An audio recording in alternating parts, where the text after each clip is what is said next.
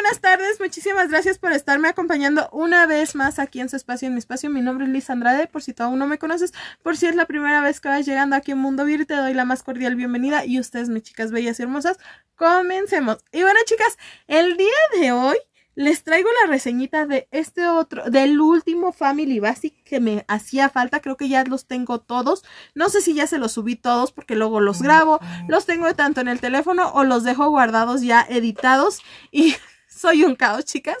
Soy un caos porque luego de verdad me paso de no subirles los videos diarios. Y bueno, el día de hoy les traigo este que es el de sandía y melón que este es como que para sentirte libre. Chicas, creo que el color va perfectamente bien. Creo que el perfume va acorde, chicas. Esta es una fragancia que si tú tienes colonias que huelan a meloncito, a sandía, a durazno, a fresitas, les va a quedar muy bien porque tiene esa combinación de sandía y el melón y llega a oler un poquito a, fresa que no llega a ser tan a fresa pero es un aroma súper rico. Creo que de todos es el que huele más rico, chicas. Si te sientes así fresca, si te sientes libre. Es de esos perfumes de que si tú tienes ganas de salir al bosque o salir a caminar o salir al parque, yo creo que iría muy bien contigo para activarte eh, saliendo del baño.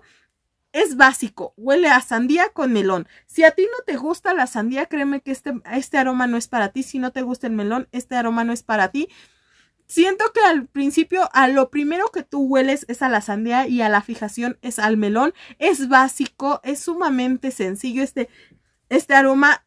De todos es el que más me duró, de todos es el que más tiempo tiene, el que más se prolongó, por así decirlo, en mi piel unos 20 minutos, en, en la ropa se quedó como unas dos horas, que sí es mucho para un body, pero definitivamente créanme que este es uno de mis favoritos, si no es que mi favorito de todos, todos me gustaron, creo que la línea en general es sólida, creo que la línea es muy bonita, obviamente en aroma se rompe en géneros y se rompe en gustos, no con esto quiero decirles que, que les van a gustar a todos, no, yo sé que no, pero definitivamente creo que vale la pena prestarle un poquito de atención. Lo que me gusta es que los aromas, si tú te pones un aroma que huela a durazno o a, melón o a sandía, creo que se fija muy bien y como que se conjugan muy bien y llegan a durarte un poquito más los perfumes. A mí por eso a veces me gustan los bodies.